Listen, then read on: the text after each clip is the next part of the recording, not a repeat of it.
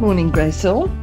Uh, we're still on Hebrews 12, and uh, the analysis for me um, of of this verses one and two that Brad preached on um, a week ago is to do with the race. Uh, I had to ask myself, what race are we running? We are encouraged to run the race, but what race? And then it dawned on me there's a lot of comparisons we can make. First of all, we mentioned that there's a crowd uh, in any race, as in like the marathon, it's uh, about to happen or has happened. Um, there's a crowd watching and they're cheering on the people running the race.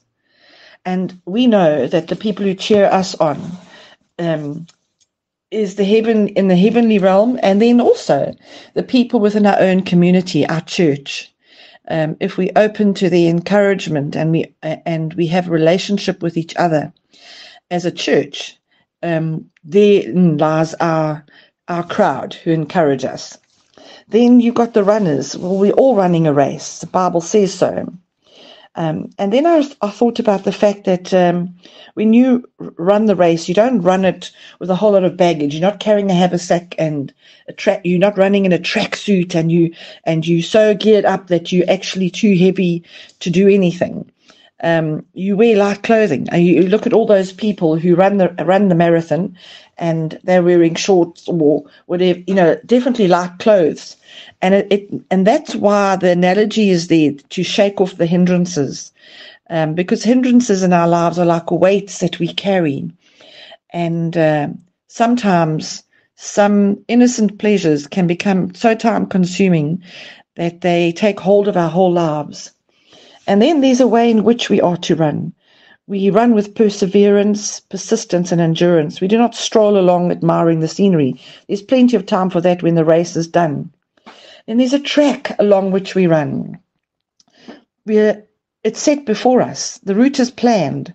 It's not a route that we choose for ourselves, nor can we change it. And um, we are children of God, and we run according to His will and purpose. And there's one who's at the winning point. Um, at the end of the racetrack, there's Jesus as we've said before, he's the originator of the race, the entire plan of salvation in which we are involved. He's the perfecter. And I think those that's the that's the an, an analogy that I get out of running a race. It's we we're not competing with each other. We are doing the work of Christ that He set before us, and we're running together in an encouragement together. And I just pray that you be encouraged today that you would run your race knowing you have the church community to support you and you have Jesus, the originator and perfecter of your faith. I hope you have a wonderful week ahead. Take care.